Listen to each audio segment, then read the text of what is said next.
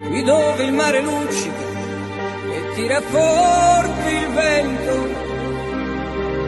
su una vecchia terrazza davanti al golfo di Sorrento.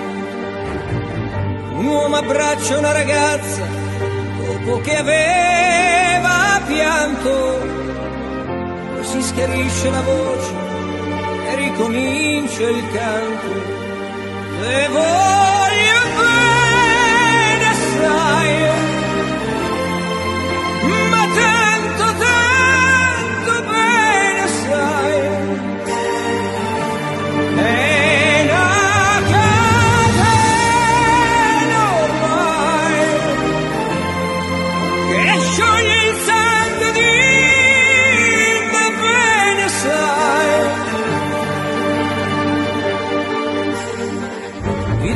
in mezzo al mare